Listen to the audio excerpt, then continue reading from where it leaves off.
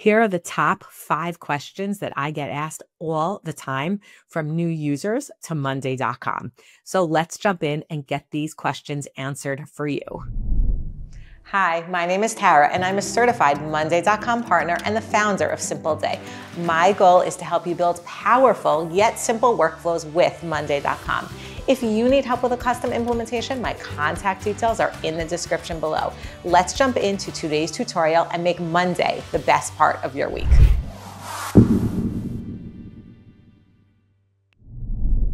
The first question that I always get is which plan should I be on within Monday.com? If you look at Monday.com's pricing page, you'll see that there are five different plans that they offer.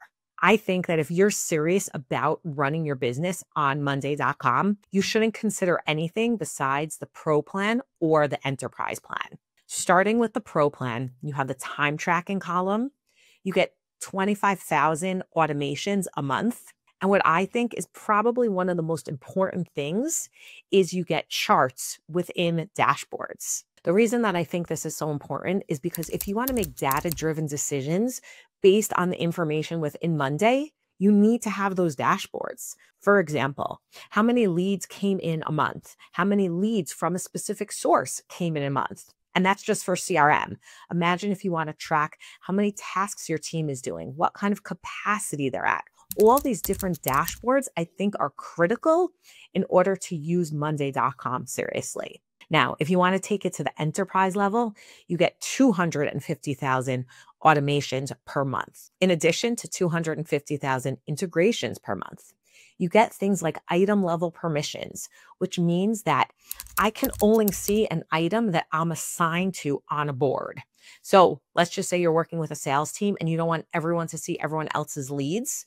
They'll only see what they're assigned to you also have uh, stronger permissions for security reasons that you can very specifically assign different user roles, different permissions within Monday.com. So, in summary, for sure, you need the pro plan or even the enterprise plan. If you need help with deciding which plan you need, drop us a comment below and we're happy to help you out.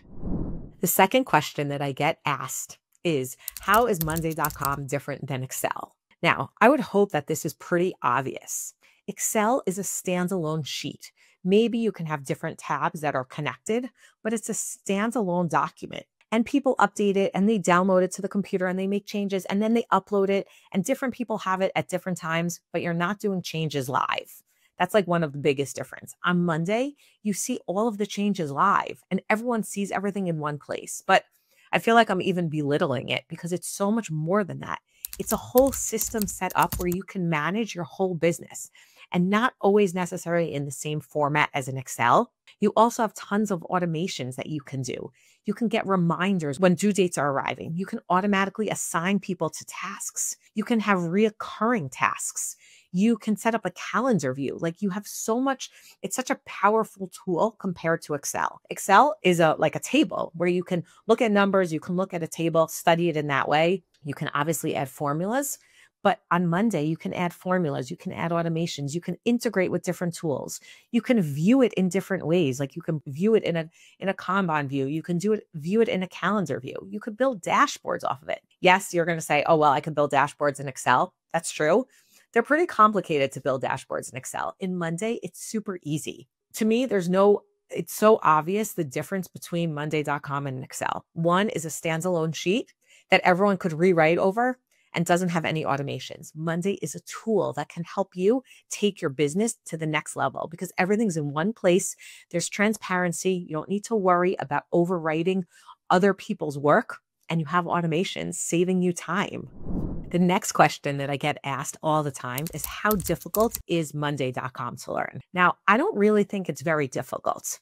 There's a few tricks or best practices that you need to pick up, but there is tons and tons of online information where you can learn how it works. Monday.com has great support pages. They have webinars. You can use things like this YouTube channel and other places online where you can find information. There's tons of material out there. But you know what I really think the best thing is? To actually play with it, start using it, and you'll understand how it works. And then if you need help, you can go listen to some webinars, you can go watch some YouTube videos, or you can even be in touch with consultants that can help you set up. By the way, it's something we do, so feel free to comment below if you need some help. But really, you can do it yourself. You may not have the time to learn it, so you may need to hire someone to help you, but most people are able to set it up themselves.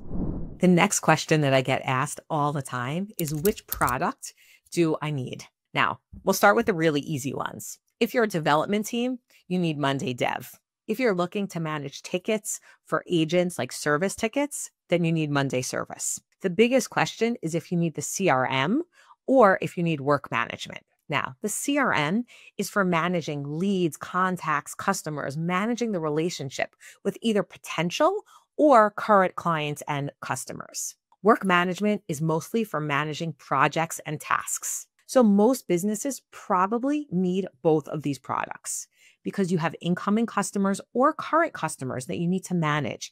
You want workflows for them. You want to be on top of them. You want to understand how many of them convert. But you also have projects that you need to manage, internal projects, or maybe projects for your clients and tasks that you have to run your business. So I would say probably a lot of companies actually need the CRM and work management. That being said, if you're not very heavily using the work management piece, you probably could build boards within the CRM to be able to do that. So you then you have the advantage of the CRM and you can also do task management within that. If you're going to enterprise, because you are doing a lot of intense project management, then for sure you need both products.